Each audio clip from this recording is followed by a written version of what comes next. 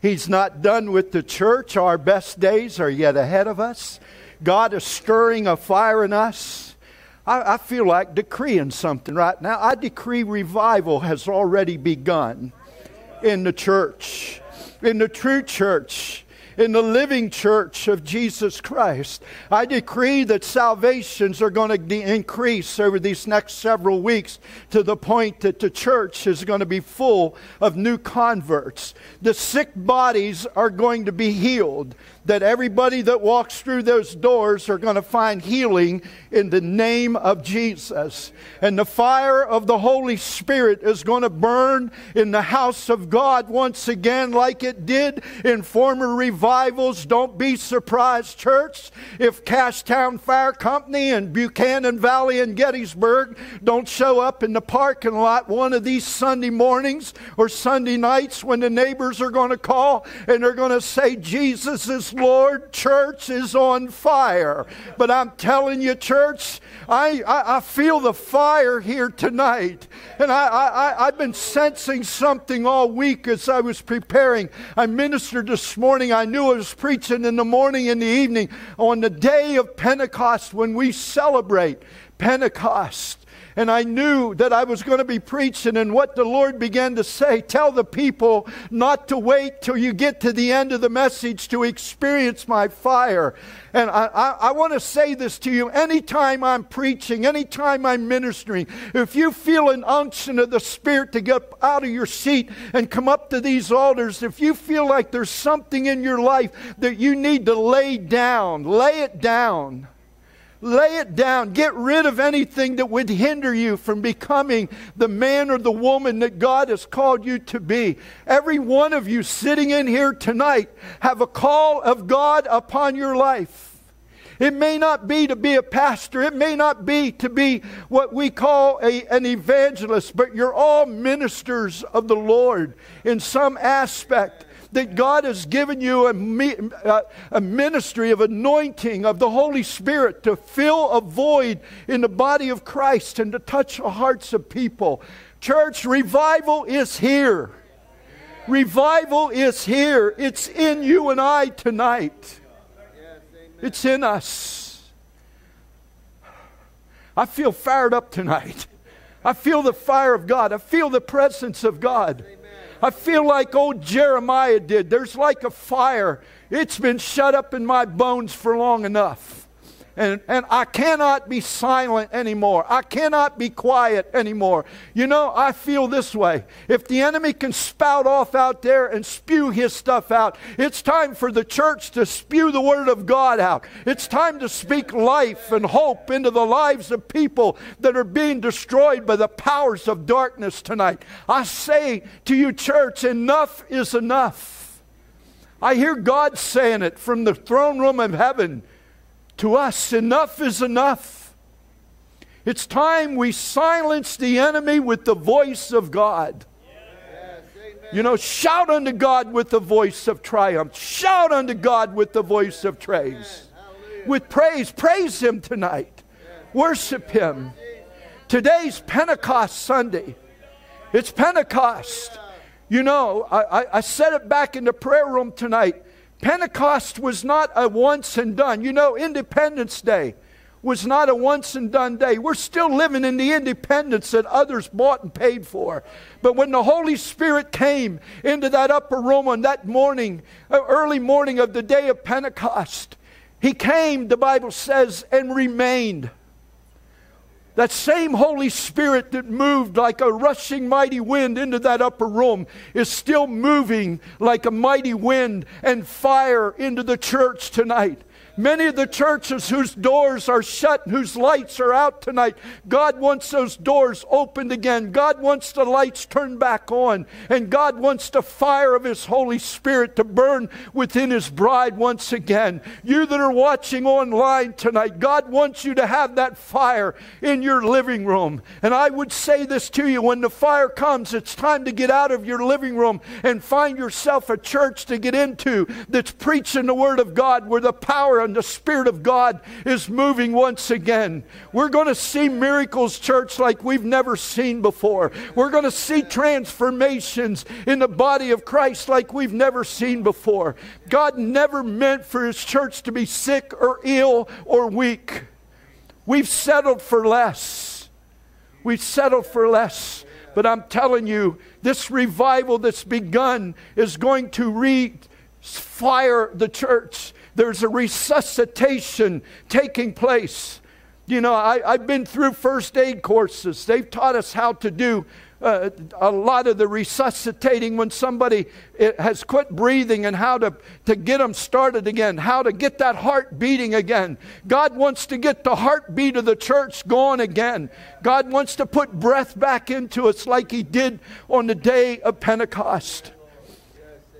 I want to read a couple. I don't normally do this, but I want to read a couple excerpts out of a book by John Kilpatrick. Most of you know who John Kilpatrick was. He was the pastor over the Brownsville revival several years ago, that for several years it touched uh, thousands upon thousands of people. People come from other nations to that city in Pensacola to experience revival. You know, but after a few years it ended. It burned out. But I'm telling you what I'm feeling in my spirit tonight, church. The revival that is beginning right now is not going to burn out this time. It's not going to wane anymore.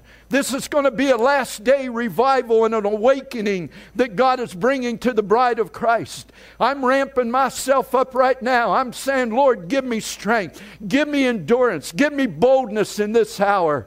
That if I, if I got if, if I preach and fall over dead in the pulpit, don't worry about me. Just let me go.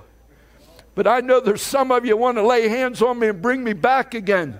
But I'm telling you, God is putting a fire back in the spirit of men and women of God tonight. If your fire is burned down, if all there is is some warm coals there, ask the Lord tonight. Say, Lord, breathe on those coals tonight. You know, I used to help start fires too, Pastor Mike.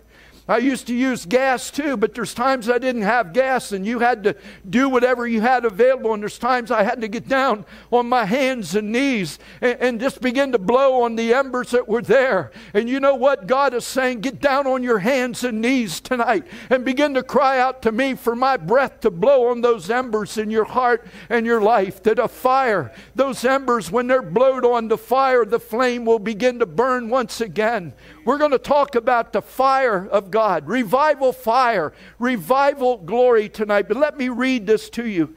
This, in this book, he wrote some, some writings of other leaders. Many of you have heard of Leonard Ravenhill.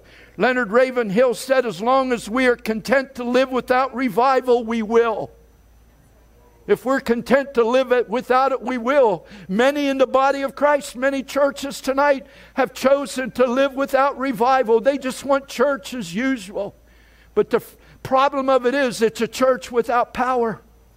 There's a, it's a church without the evidence of the presence of God in those churches tonight. He also said, at God's counter, at his counter, there are no sales days. For the price of revival is ever the same travail, prayer. Prayer. It was prayer that birthed revival. It was prayer that was happening for 10 days before Pentecost came. The Bible says they were in one place, in one accord. They were praying for 10 days. You know, it's hard to get people to pray for 10 minutes, let alone 10 days anymore. But they began to pray. The Lord had given him a command before he ascended into heaven. He said, Go and tarry, go and wait, go and pray in Jerusalem until until the Holy Spirit comes. Friend, if they needed the Holy Spirit in that day to preach the gospel, how much more do we need the Holy Spirit and power to preach the gospel in this hour? I don't want to preach a dumbed down, watered down gospel to anybody. I don't want to preach a gospel that just makes them feel good. But I want to preach a gospel tonight that will transform their life, that they will know who God is. They will know the power of God. They will experience the power of God in their life. That's what God wants to do in His church tonight. Let me read on here a couple of these other ones. William Booth. How many of you know who he is? William Booth said, You must pray with all of your might. That does not mean saying your prayers or sitting gazing about in the church or chapel with eyes wide open while someone else says them for you. It means fervent, effectual, untiring wrestling with God. How many of you have been wrestling with God? I don't think we know. That, that's a lost art. How many of you remember the story of Jacob? Jacob wrestled with God. I don't know how many hours he wrestled with the angel of the Lord, but he wrestled. And daybreak was coming, and the angel of the Lord said to him, You've got to let me go. You've got to let me go. Daybreak is coming. I need to go. And you know what Jacob said? And I pray it's your prayer and your cry tonight. I will not let you go until you bless me. You know, if we had that kind of a fortitude tonight when we pray that God, I'm going to keep bugging you, I'm going to keep praying until you bless me. How many of you want blessed tonight? How many of you want the power of God to move? I pray that while I'm preaching tonight, that you're feeling the power and the presence of God that is stirring this atmosphere. God is stirring and troubling the atmosphere tonight, in the atmosphere within the four walls of churches. God wants His presence to be felt. God is not just a story in a book. It's not a fairy tale tonight. What I'm preaching to you is real. What happened on the day of Pentecost is real. I can only imagine what it might have been like, but I'm going to tell you what God is getting ready to do. Some of those that were in that upper room would desire to be where you and I are tonight, getting ready for the next wave, the next outpouring of the Holy Spirit and fire. John Kilpatrick wrote these words. He said, We need to seize the moment that we have been given. In these days of deep darkness and moral compromise, the body of Christ cannot afford to remain a sleeping giant. While society as a whole and even pockets of Christianity are embracing sin, they're embracing sin. Do you hear that? as acceptable. The church is abandoning the power of Pentecost. The very dynamic that set us apart to begin with is what many have considered unpopular, controversial, and divisive. How sad. How sad. He went on to say here God is the only one capable of breaking into a human heart and setting it ablaze with holy zeal. He alone demolishes strongholds, cancels curses, overcomes impossibilities, breaks addictions, heals sick bodies, and delivers tormented souls. Friend, we live in a sick world tonight. There's sick people all around you. You bypass them in the supermarket aisle. You walk by them on the work sites people that are sick in their soul and in their spirit that God has put there in your path to minister to them. And I pray that the fire of God that got upon that 120 that I feel here tonight will get in your spirit, that you will no longer walk by them. I was I went for a, a testing the other day, and soon as the young lady got behind the calendar, she was quick to tell me, I've had a rough morning. I woke up and I got a migraine headache. And I said, Well, I'm going to be praying for you that God will heal you of that. You know that sometimes that's all it takes. That's all it takes. It's to speak a word of God over them. Don't walk by them. They may be the next miracle that God uses you to perform in their life. One final comment here that John Kilpatrick made. He said the Brownsville revival was not the result of preaching it was God's sovereignty colliding with humankind's desperate cry in the place of prayer. In my personal experience, prayer was one of the key factors that paved the way for this extraordinary move of the Holy Spirit. Thank God for a church that prays tonight. Thank you, Pastor Mike, for opening the doors to this house that we can have prayer on Sunday and on Monday night, and who knows how many other times that we're going to gather in the days ahead to pray. Friend, before we move, we better pray. Before we act, we better pray. We better know what the will of God is. We better be asking God to put the right words in our mouth and not to go on our own unction and our own power. Friend, we're limited in what we can do within ourselves. But, friend, there is no limitation on the power and the presence of God. If it was that important for those disciples before they went out to minister to have the Holy Spirit come, it's even more important to you and I. I'll keep repeating that till you get it, till you realize how important. You know, I've, I've heard so much criticism over the years about the Holy Spirit, about the baptism of the Holy Spirit, about speaking in tongues. And friend, I am not ashamed of being Pentecostal. I am not ashamed tonight to be, tell you that I am filled with the Holy Spirit and that I speak in other tongues and other languages. It's my strength tonight. It's my helper. It's my comforter that lives within me. He is a person. Holy Spirit is not a thing tonight. He is a person. He is the third person of the Trinity tonight that has been sent to you and I. And I thank God that Pentecost is alive and well tonight the move of the Spirit in this earth is alive and well tonight. And I'm going to tell you, I serve notice to the enemy tonight that you're about to feel the power of God. You're about to feel the wrath of God that's going to come down upon the enemy and the works of darkness once again. You know what? I, I, again, I'm not boasting on it, but I've had to pay a price for where I am tonight. I've had people come to me and say, Pastor Garry, I want what you got. I want what you got. And, and my only comment to him is, Are you willing to pay? Are you willing to pay the price? I could tell you, I, Pastor Mike, I, I'm like you. I could tell you stories tonight. I could tell you stories of the heartache and the heartbreak that I've been through because of my profession of faith in Jesus Christ. Every time I get ready to do something, even this week, I've felt the enemy wanting to come against me because he knew I was preaching on Pentecost. He knew I was preaching on the power and the presence of God. The enemy doesn't like it. I can tell you what he's doing right now while I'm preaching. He's holding his hands over his ears so he doesn't have to hear it. Well, that's too bad. He don't have to hear it. I'm still going to preach it because there's other ears that are open to hear the truth of the gospel of Jesus Christ. You shall know the truth, the Bible says, and the truth will set you free. There's a lot of people bound tonight, church, but we have the truth of God. And God is calling you and I to rise up and to do our part to see them set free tonight. Revival fire, revival glory. E.M. Bounds said, Every mighty move of the Spirit of God has its source, its beginning in the prayer room. Every move of God. You can't preach people into revival. You can't teach people into revival. You can't program into re- people into revival. The key to revival is, is and has always been effectual, fervent prayer, seeking the power and the presence of God. I believe that the preaching is part of the fruit of that praying.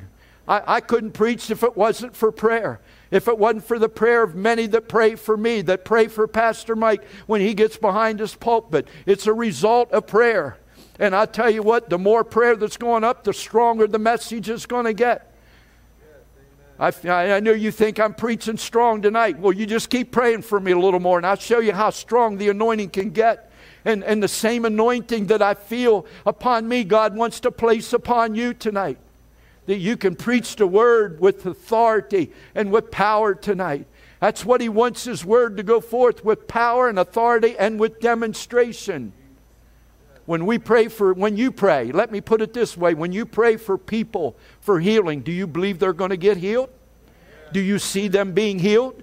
When you pray for people that are bound with demonic spirits, do you see them being set free? That's what faith is.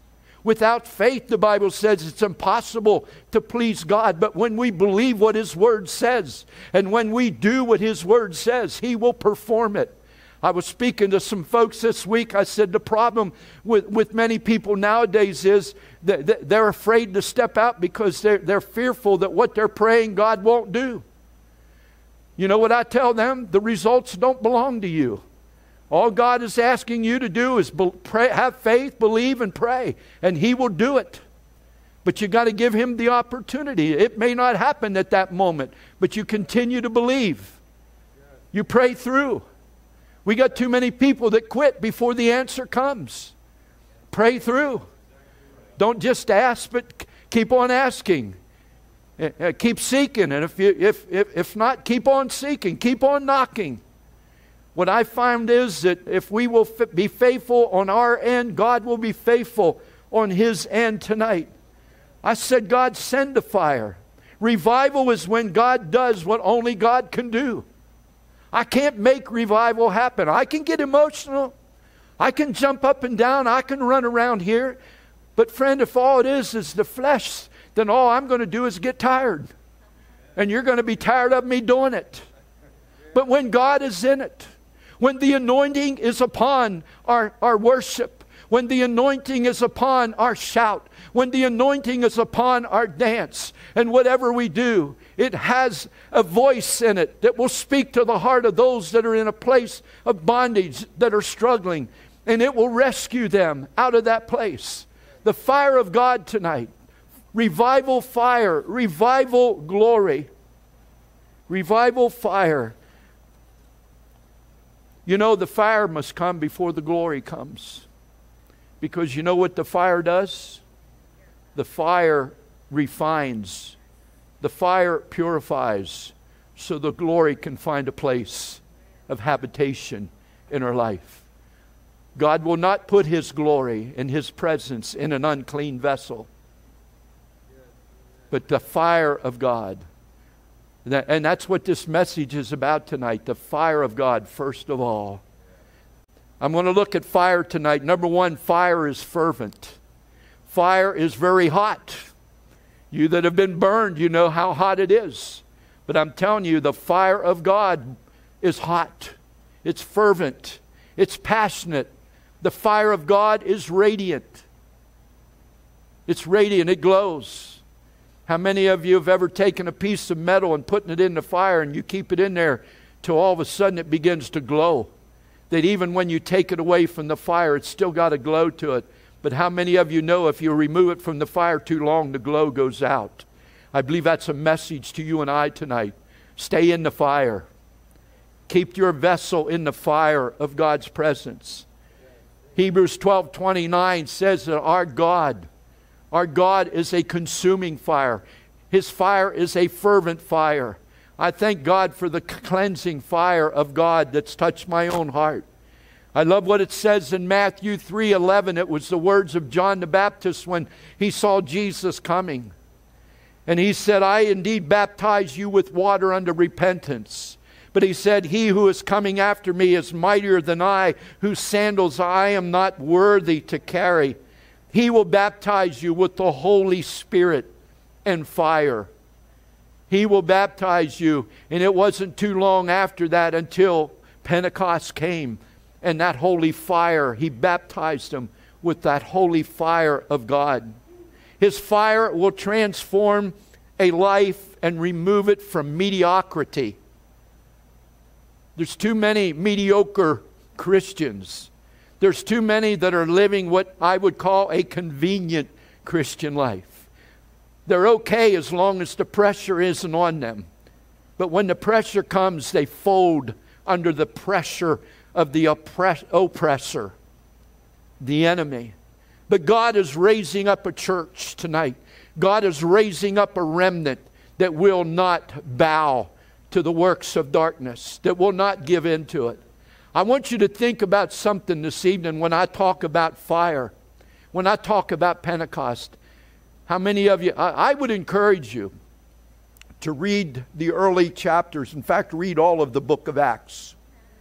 But I'm telling you, what we see in there, uh, especially in those early chapters of the book of Acts, we are seeing it happen all over again today we're seeing those that are telling the church to be quiet. Don't preach in that name, the name of Jesus. Close it down. That's what the devil is trying to do right now to the church in America. Close it down, close your doors. The sad part is, too many have listened to it. Too many have become victims of the voice of the enemy. I'm not here, listen to me, I'm not here to tell you tonight that COVID isn't a real disease. I'm not here to tell you any of that.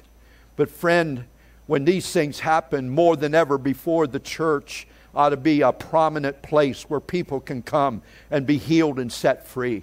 I believe that the church is the answer for what America is facing tonight in every aspect, whether it's political or physical or emotional or whatever it is. I believe the church is the answer.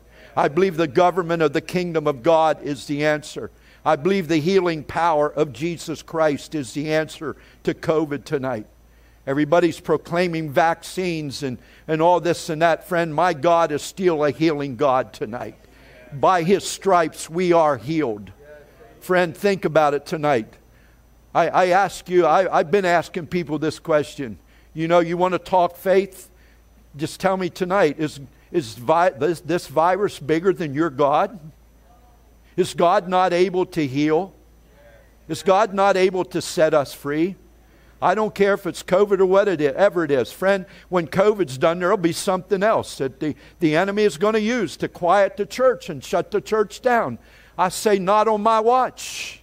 Not on my watch. If, there, if there's anything I can do about it, I'm going to preach the word. I'm going to preach the truth of God. That my God saves, my God heals, my God delivers, and my God provides. He always has and He always will. There's some things that are unchangeable. I serve an unchanging God tonight that can do whatever I can believe him to do. In fact, his word says that he would do even exceedingly abundantly more than what I can ask or think. That's who my God is tonight. We got to get that in our spirit. And sometimes we got to convince ourselves. I got to convince Garry Sheaffer sometimes that God is bigger than that problem that I'm facing in my life. God is bigger than any government. I don't care who it is. God is greater than any king of this earth. The Bible, my Bible tells me he's the king of kings my Bible tells me he's the Lord of Lords.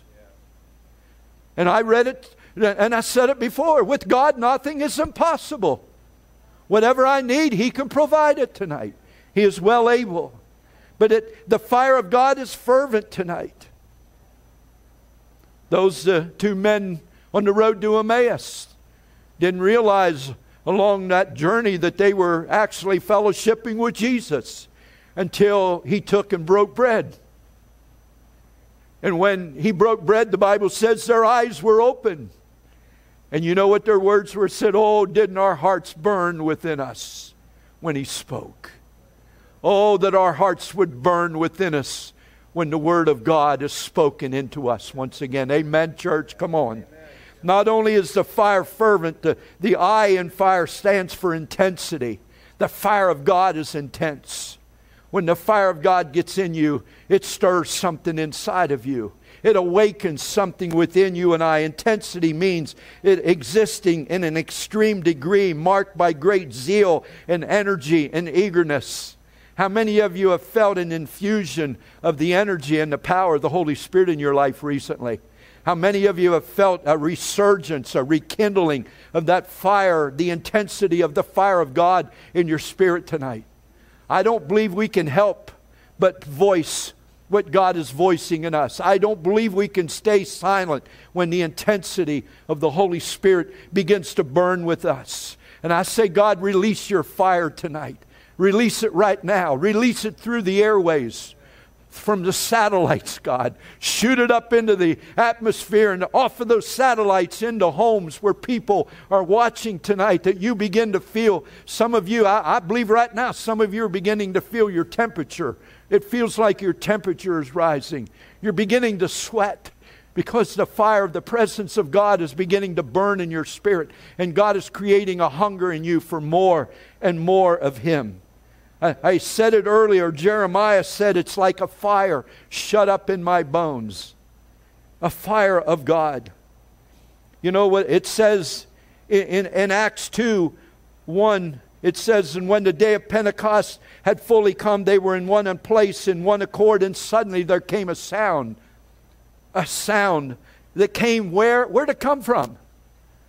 Where did the Bible say it come? Come from heaven. It come from heaven. It was God. It was God. I believe God just kind of leaned over and went with his breath into that upper room, and there was fire in his breath. And it was the Holy Spirit that was in his breath. You know, read the accounts of who the Holy Spirit is and those things that represent the Holy Spirit. One of the greatest things is fire. it's wind. It's all those things. Those things that we call emotions is really the Holy Spirit. When we feel that rush within us, we, when we feel that power, that resurgence within us, it's the Spirit of God in us. It's not an emotion, it's a person in you that's stirring something up inside of you.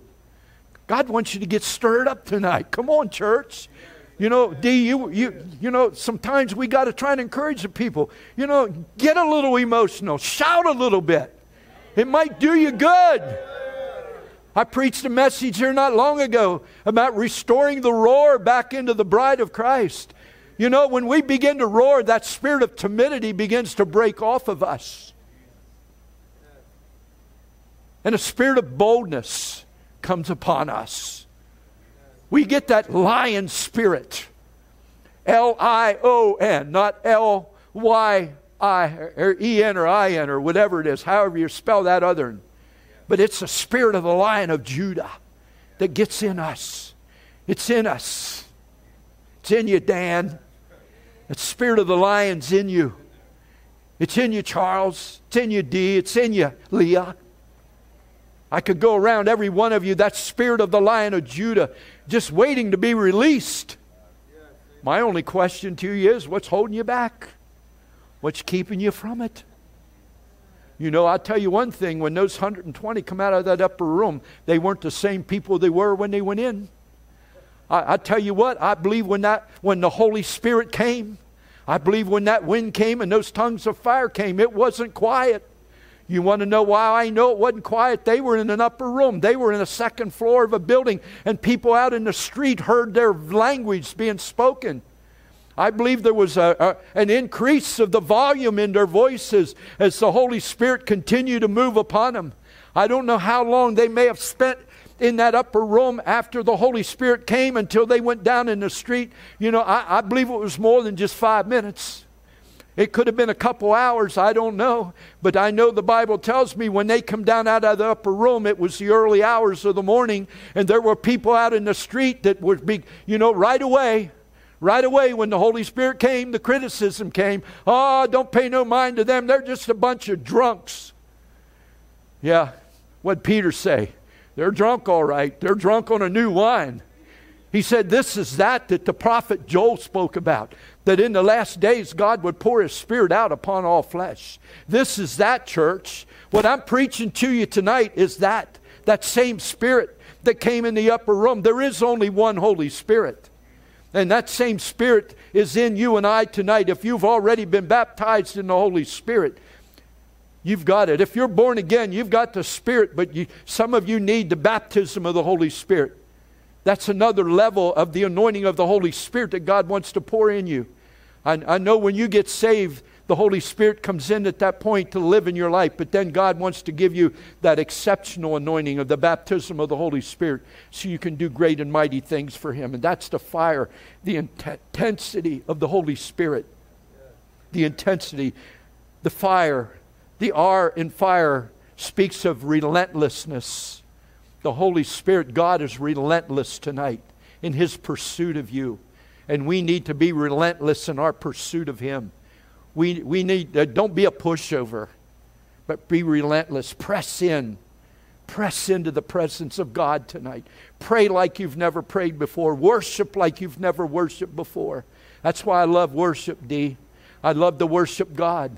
I, I do a lot of that, even in my, my time around home now. There's times that if you get close to my house, you'll hear the music playing out on the back deck. I, I, get worship music on. I put it on my phone, and I got this little speaker now that boots the volume up. I, I, I want to hear it. I, I want to hear it. I want to feel it. I, I want to feel the presence of God as I begin to worship with those that are singing. And you know, I, I've, I've worshiped myself out of some valleys. A lot of times I've worshiped myself out of the valley that I found myself in. And, and you might say, well, you're a pastor. You shouldn't get in the valley. I, I got news for you. When you get into to levels of leadership, you get into a lot of valleys. You face a lot of valleys, but you know what? I don't choose to stay there. I'm not a valley dweller. I'm a mountain dweller. I'm a mountain person. I like to dwell in the mountain. I like to dwell in Zion. We sang about Zion tonight. Out of Zion, out of Zion comes the glory of the Lord. And I love being on the mountain of the Lord. Thank God for the valleys, but thank God for the mountain tonight too, and the intensity of the joy of the Lord. God is relentless. A relentless pursuit on our part is what it's going to take. It's not a time, church. Listen to me. I'm going to use some of the termination that the world's using right now. It's not a time to social distance. It's not a time to keep God at arm's length and six feet away. It's time to dive into His presence. It's time to get closer to Him than we've ever gotten before. So, excuse me, CDC. Excuse me, Dr. Fauci and things. You know, I might sound critical, but maybe I am a little bit because I'm kind of fed up with people telling me I can't be close to my family, that I can't be close to my friends. Friend, that is a tool of the devil if there ever was one. Forsake not the assembling of yourselves together. Draw close, especially to the Lord in this hour. Use common sense, but use wisdom too. It's not a time to run from God. It's not a time to avoid the presence of God and the fellowship with the people of God tonight, but it's a time, church. This is what they're afraid of. They're afraid the church is going to come together. They're afraid that there's going to be another gathering in the upper room and the power of God's going to come and quelch what they want to do in this hour. But I'm telling you, it's time for the church to arise. It's time to rebuild the altar. It's time to rebuild the altar in the church. That altar in this church wasn't built to make the church pretty, it was built for a purpose that people can come and lay their life on the altar. It's time to rebuild the altar. Baal has spoken long enough. The prophets of Baal have spoken long enough. Take it for what it's worth. I'll not expound on that, but I will talk about the story of Elijah in the book of First Kings. You know, God will raise up a person at a certain time for a certain reason. God raised up a man to face 450 men. God raised up a man that said, I've had enough. Church, have you had enough? You know, Elijah was a smart man because he had the wisdom of God. You know, I, I love it. You know, everybody wants to go first, so that's what he told the prophets of Baal. Go ahead, have at it. Build the altar, put the build the altar, get your sacrifice. But he said, don't one of you light the fire. Don't bring false fire to this meeting. Call on your God. And you know, the Bible said that they prayed they cut themselves, they shouted, they danced. They, uh, uh, from what I can gather, from what I read in the Word of God, they literally destroyed the altar that they were c- trying to call fire down on. You know how I know that? Because when it was Elijah's turn, it said it was about the hour of prayer in that evening prayer that Elijah kind of stepped up and said, Okay, enough is enough. I can almost hear him saying that to the prophets of Baal. You've had your chance. Now step aside, if you would please, and give me an opportunity. And Elijah began to speak to the people because you know a lot of those that were deceived were his own countrymen, the people of Israel. They began to worship the prophets of Baal, they began to listen to a false voice. Now Elijah said, Now, folks, I'm not going to do it for you, but rebuild the altar, put it back together again. Gather the wood and put it on the altar. Get the bull, kill the bull and put the bull, put the sacrifice on the altar. And they dug a trench around that altar, and then he said, Now I want you to pour water on the offering and on that altar and on that wood. Now, does that make a lot of sense? You want to burn something and you're going to pour water on it before you start it. You know, there's a lot of things God will do. It do not, does not make sense to the natural mind. But he didn't only tell him to put water on it once, he told him to put water on it again. And in that day, listen to me, church, it hadn't rained for three and a half years. Water was a hot commodity. There wasn't a lot of it. But you know what God told the man of God to do? Put on what you have the least of, what you need the most. Put it on the altar. And a third time, until it says that the trench not only was the, the altar and the wood and everything soaked, but the ditches were full of water. And I love what the scripture says. And he said, At the time of the offering of the evening sacrifice, Elijah the prophet approached the altar and he said, He walked up to that altar and he began, and I believe he looked heavenward. And he said, O Lord, the God of Abraham and Isaac and Jacob, let it be known today that you are God in Israel, and that I am your servant, and that I have done all these things at your word. Answer me, O Lord. Answer me so that this people may know that you, O Lord, are God, and that you have turned their hearts back to you. That's what he prayed. That's all he prayed. And the word here in verse 38 of 1 Kings 18 says, Then, when did it come? Then the fire came after they rebuilt the altar and after they put the sacrifice on the altar. Then the fire of the Lord fell and consumed the burnt offering, the wood, and even the stone and the dust, and it lapped up the water that was in the trenches. And when the people saw it, they fell face downward, it said. They fell on their face and they said, The Lord, He is God. The Lord, He is God. Friend, we're about to see the fire because there's a lot of altars that are being restored tonight, a lot of personal altars, as well as corporate order, altars. I believe the altars of the church are going to begin to be used once again, and not for decoration, but for prayer, where people are going to come and fall on their face and cry out to God for the mercy of God to come once again. And when they cry out, church, the fire of God is going to fall one more time upon them. And my final point, I need to get to it quickly. The E in fire stands for extraordinary. Extraordinary means notably unusual and exceptional things that God is about to do in your life and through your life in this hour. It's being employed in a special service as an ambassador for the Lord, a carrier of the fire, causing the flames to spread in a supernatural manifestation of the Holy Spirit, causing signs and wonders and miracles to be the result of that prayer. Fire carriers how many of you want to be a fire carrier tonight? How many of you want to do extraordinary things? Friend, for too long, we've, I don't know how I want to say it tonight. For too long, we have never felt like we were qualified. For too long, we never felt like we were called to do those things. Only the pastor, only those that have a, a, a, title before their name can do that.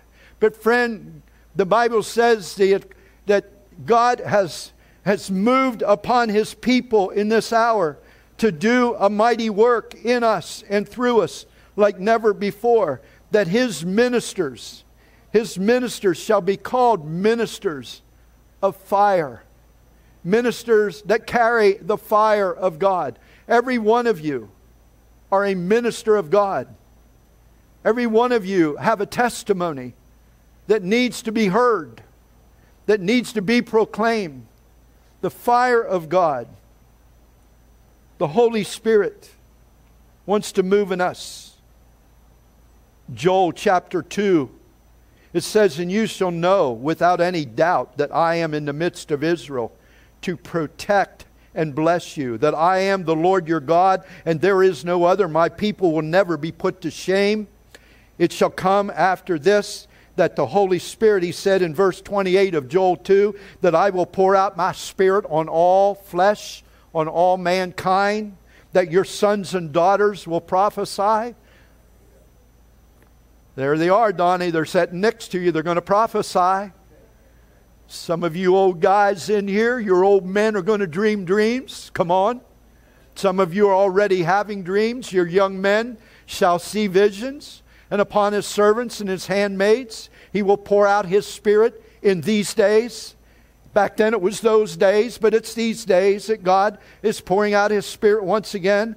He said in verse 30, I will show signs and wonders, displaying my power in the heavens and on the earth, and blood and fire and columns of smoke. The sun will be turned into darkness, the moon into blood before that great and terrible day of the Lord comes. And it shall come to pass about that whoever calls on the name of the Lord will be saved from the coming judgment. For the mount of, on Mount Zion and in Jerusalem there will be those who escape, as the Lord has said, even among the remnant of survivors whom the Lord calls. Friend, we are living in those days.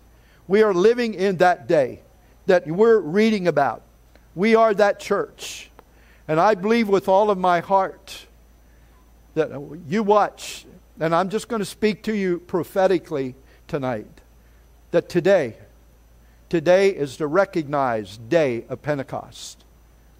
I want you to begin to listen. Listen to the news over the next several weeks because God's about to answer. God is about to move. We haven't seen a really strong move of God, but God is about to awaken some people up. God is about to shake some things. There's been some shaking, but there's about to be some great shaking in the earth in this hour. I want God to shake whatever needs to be shaken in my life. I want God's fire to burn up what needs to be burned up in my life, to melt away the dross, to melt away the unnecessary, that the only thing that's left is the purity of the holiness of God in my life and in your life tonight. I offer you a challenge as we get ready to pray this evening. I offer you this challenge. Are you all in?